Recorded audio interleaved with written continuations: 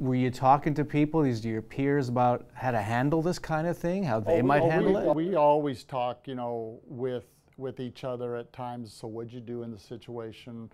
What kind of information did you get?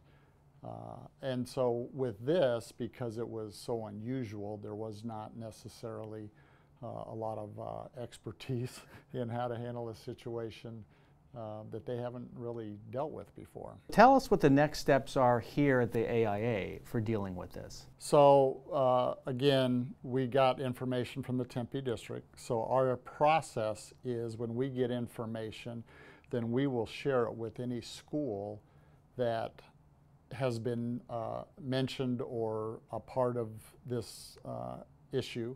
So we've reached out to all the schools that we uh, saw had emails to and ask them, uh, here's the information we have. You please need to do an investigation on your campus and you need to report back to the staff so that we can bring that back to our board. If there is a violation uh, by a school, then you need to bring that forward with your corrective action.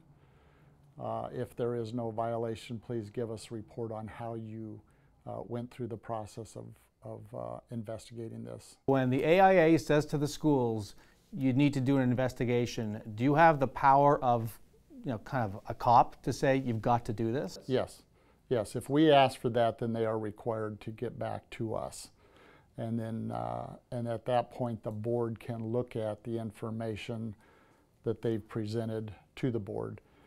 At that point, they can make a determination if there is a penalty or if they may accept the report as written. How many schools was this, or school districts was this? We have uh, about eight or about eight schools in Arizona. What kind of violations would they be looking for? Well, we have a, uh, in our coaches coaching uh, section of our bylaws, we have uh, the practice of a level playing field that you would not engage in any activity that would be um, uh, detrimental to the level playing field or, or the integrity of the game itself. I was looking at that last night 17436 demonstrate high ideals, good habits, and desirable attitudes. Is, is that the one right there? That's the one that we would that we would look at, and again, depending on the information that they receive. So we have the information that most everybody has from the Tempe district of things that they did their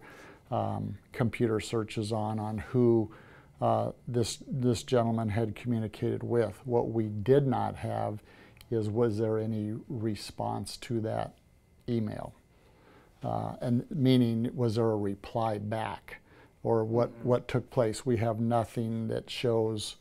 Um, you know, a conversation back and forth between coaches. So that's when we go to the school. What what can you tell us? Is that kind of the, the trigger here? Well, the, In, in other words, so if he just sent this to you as Mesa Mountain View AD mm-hmm.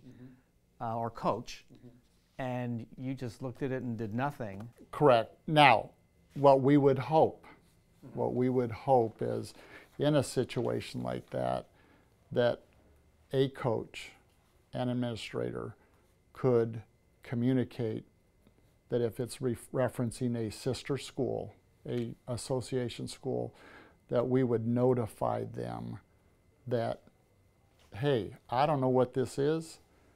This doesn't make any sense, but you need to know we're getting some information that's coming representing your school.